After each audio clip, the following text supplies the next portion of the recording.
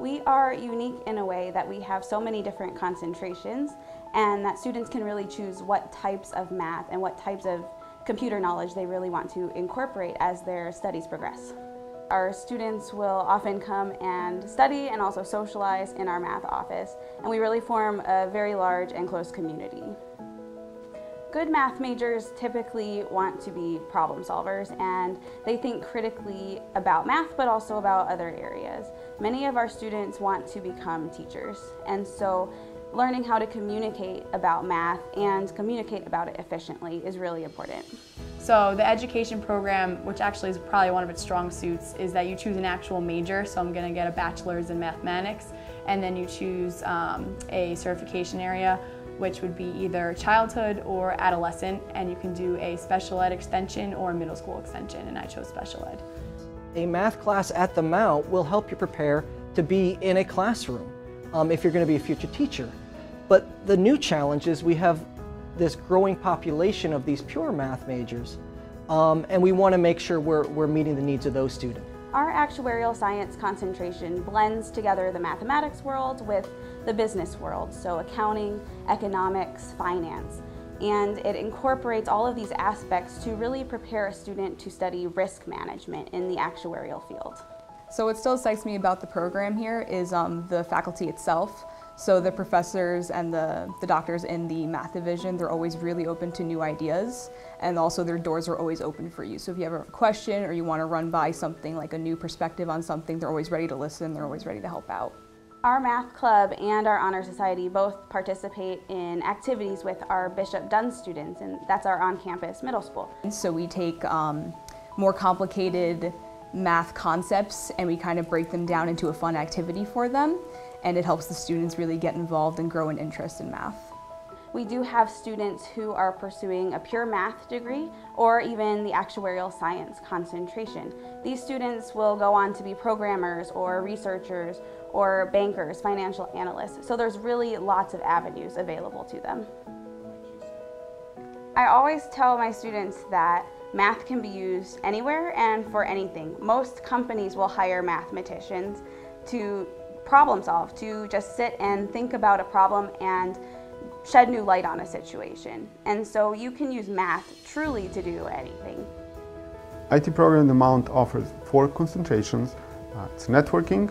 Networking mostly focus on administrating network systems in the schools and companies. It's very related to cybersecurity, which focuses more on uh, security aspect of using internet and developing applications and operating systems. Uh, education technology as a concentration focuses on application of technology primarily in school setting and how to use technology to reinforce learning and teaching. And web development focus on uh, setting up websites, website design, setting up servers and trying to create user-friendly uh, website uh, design. On the top of this concentration we offer one interdisciplinary study which focuses on technology and digital media. This study uh, combines creativity, art, technology and web development. If you are interested in any type of technology and if you want to basically develop the technology, IT is the best field. Um, going into junior and senior year, typically students start doing internships, work experiences, job shadow, whatever they need to become more competitive in the field or to prepare for graduate school, meet those grad school requirements.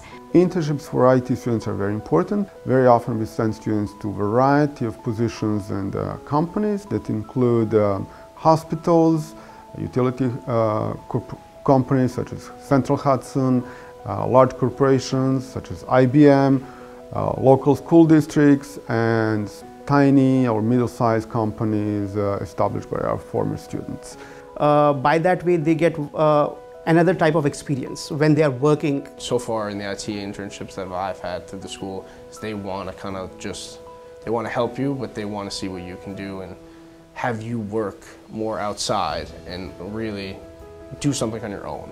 Something where like if an employer would ask you after college, oh, you know, you did this at your internship, did you do it by yourself? You can actually truthfully say, yeah, I did it by myself and explain to every detail what you did.